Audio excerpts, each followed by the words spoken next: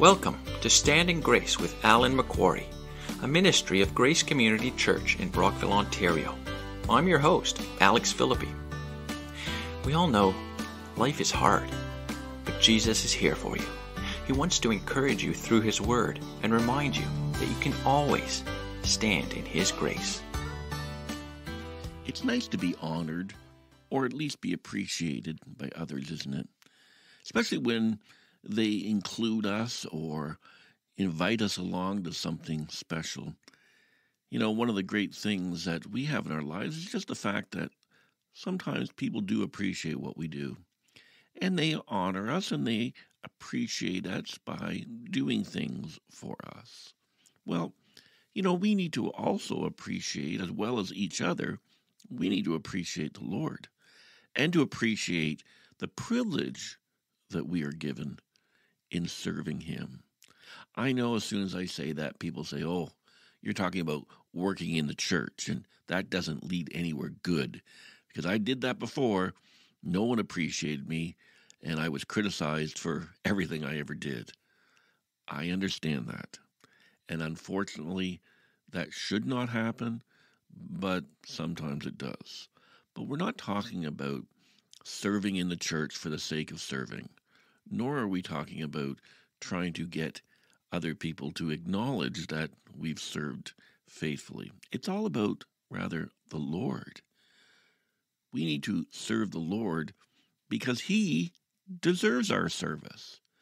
And I know that sometimes when we do those services for the Lord, they often come back to only bite us. But we're not talking about how other people treat us today. I want to talk about how the Lord treats you. Because it is a privilege to serve the Lord, regardless of all the pain we've had in our past, regardless of all the fighting and the quarreling. It still is a privilege to serve the King of Kings. He sees what we do, He knows our motivation, He appreciates it when we serve Him, and He honors you when you serve Him because the Lord knows that He does need you. If you know Christ as your Savior, then He has given you a spiritual gift. And that gift wasn't given randomly. It's not just distributed to anybody who shows up at church on Sunday. It is given to the redeemed of the Lord, those who have come to a place of repentance where they have trusted in Christ alone. And they've given their hearts to Him. They've pleaded, Lord, forgive me for all that I've done that have dishonored you. I give my life to you and I want to serve you and I want to lift up your name. The Lord gives a spiritual gift to us, a, a gift that we didn't have moments before. And it is to be used for the edification and the building up of God's people.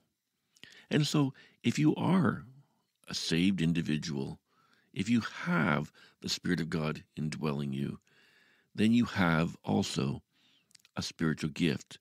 And the Lord wants you to use it because He gave it to you to be used. I don't want to get to heaven and find out that the Lord says, Why did you hide that gift that you were given? I don't want to get to heaven and have the Lord chasten me because in some way I hid my gift under a basket.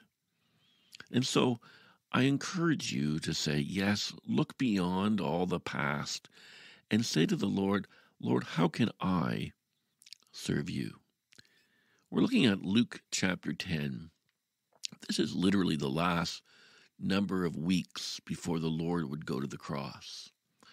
And you have the Lord Jesus, who is God Himself, walking on earth, and with Him are the 12 apostles that he touched and gave the authority to perform miracles to. He transmitted a power and authority to them that seemingly they had the rest of their lives.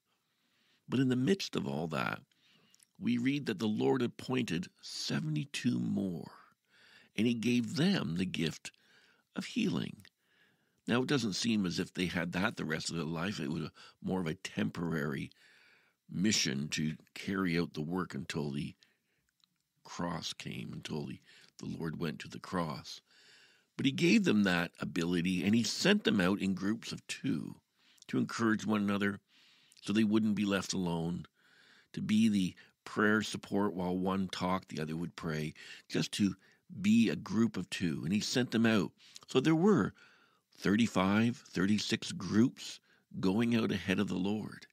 And we ask ourselves, why did the Lord need more people? Couldn't He, as God Himself on earth, or with the 12 apostles, couldn't they adequately do the work themselves that the Lord needed to find more people? Well, it seems as if as we move towards the cross, the Lord wanted more people to hear and understand what He was doing. And so 36 groups of people, groups of two, went out before him, spreading the word, preparing the word, bringing people to an, enthusiasm for who he was. This is probably the catalyst behind the triumphal entry, where so many people came and were excited when the Lord came into Jerusalem on that day. And so, as the Lord moved forward and as he sent out this group of people, he told them, Pray earnestly to the Lord of the harvest to send out laborers into the harvest, for the harvest is plentiful, but the laborers are few. The Lord Jesus looked at his culture, looked at his society, looked at the people around him, and he saw that the harvest was plentiful. Now, I don't see that. When I look at our neighborhoods, when I look at the stores, when I walk down the street, I see people, and seemingly they're disinterested in the things of God. Seemingly they don't care about spiritual things. And yet, from God's perspective, when He looks at our community, when He looks at our town, when He looks at our city, He sees a harvest that is plentiful. The only problem is me. I'm the laborer, and I'm not doing my job. The laborers are few. We need to understand that God is doing a great work. The parable of the mustard seed foretold that out of a small seed a great tree would grow that would fill the earth. And indeed, the harvest is plentiful. This is a statement of faith because I don't see it. What I do see is what my eyes tell me and that is that people don't care about God. But that's not so. The Lord needs you. You are a laborer for Him. He wants you to serve Him. And I understand that sometimes we have lost the enthusiasm or the excitement to serve in church again. I understand that. But I do want to encourage you that there's a great privilege in serving Christ. There's a great privilege in doing the work of God.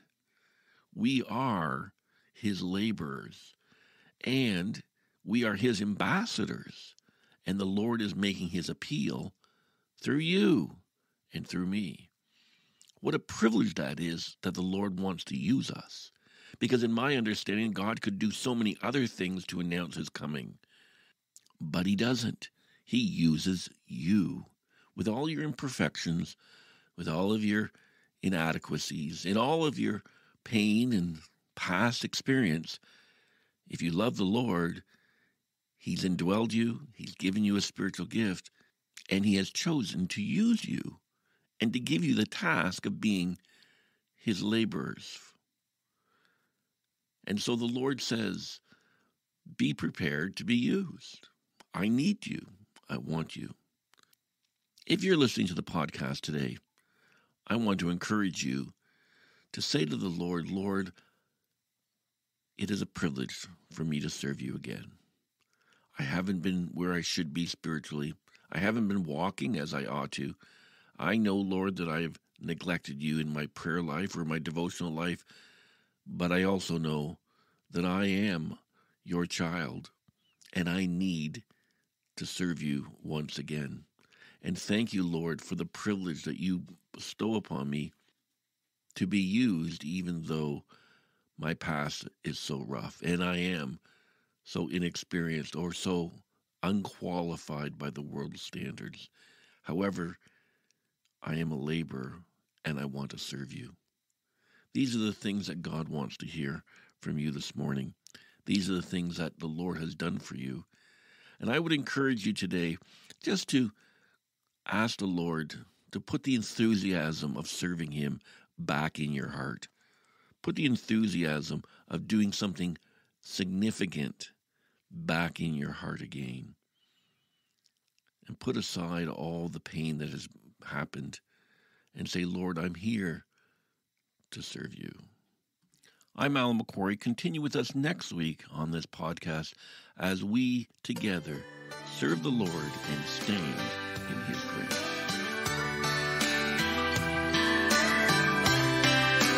Thank you for being with us today on Standing Grace.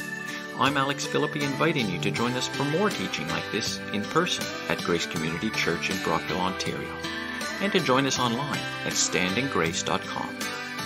Until next time.